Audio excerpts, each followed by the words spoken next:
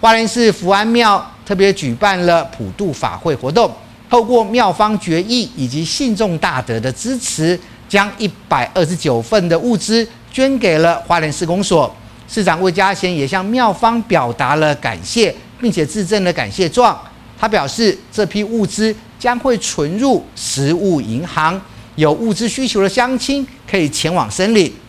花莲市福安庙前广场摆了一大批物资，这些全都是庙方及信众大德这次要捐赠给花莲市公所的爱心物资。那我们每年办那个庄严普渡的话，啊，我们在庙方的方面都会跟香客讲，你要是不方便拿回去的话，啊，就由我们庙方来帮你做处理，啊，我们帮你捐赠给弱势团体。哦，那至于今年呐，为什么给那个市公所处理？是因为啊。我们施工所有一个那个食物银行，哦啊，我是我的想法跟我们委员会的想法是说，那么多的物资发给个体户，他一次是用完了，没办法去分配，所以说我们就交给食物银行去分配给各位，长期下来大家才有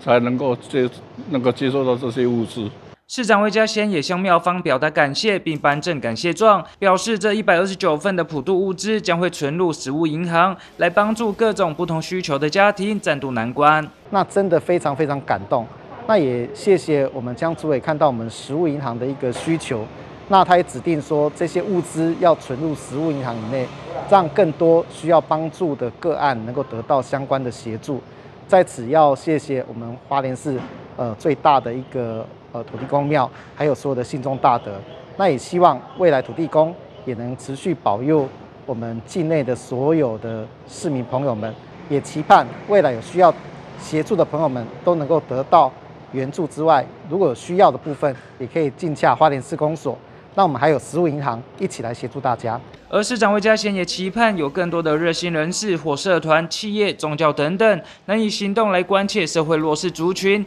集众人之力来解决他们所面临的困境。欢迎有意捐赠物资的人，可以洽询花莲市公所是劳客。记者徐立琴，花莲市报道。